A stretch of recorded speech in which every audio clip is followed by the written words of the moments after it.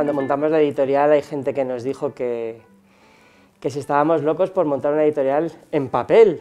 Y bueno, pues creo que 10 años después no sé si queda alguna editorial que solo publique en ebook. Yo creo que Fariña marca un punto y aparte en nuestra trayectoria eh, y que tiene mucha influencia en, en, que acabemos montando esta productora, la Producciones del Cado, porque ahí descubrimos un poco el mundo audiovisual, las posibilidades, nos empezó a picar el gusanillo y eso pues la verdad es que yo diría que marcó un antes y un después. Si ya ha sido muy ambicioso y muy resiliente Libros del Cao eh, a lo largo de esta última década, creo que demuestran que dando este paso eh, están siendo incluso más valientes eh, que, que, hasta ahora porque eh, montar una productora en este contexto no es nada fácil. Me hace muchísima ilusión que 10 años después de que se publicara aquel libro, no solo estar involucrada en la, en la editorial, sino estar involucrada con ellos para, para un proyecto de, de, crear la productora audiovisual vinculada a la editorial. ¿no? Lo que no imaginaba era que se iba a repetir